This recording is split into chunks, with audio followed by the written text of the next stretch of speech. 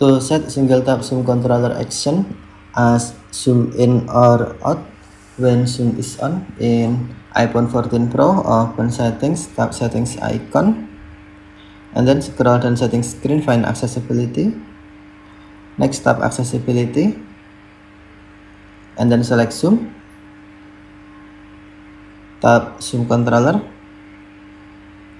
On controller action tap single tap and then select zoom in or out.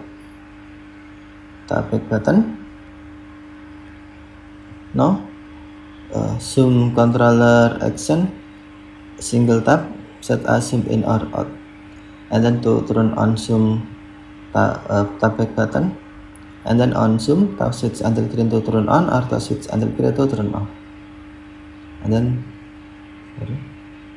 tap controller to zoom in or zoom out okay thank you for watching. Have a nice day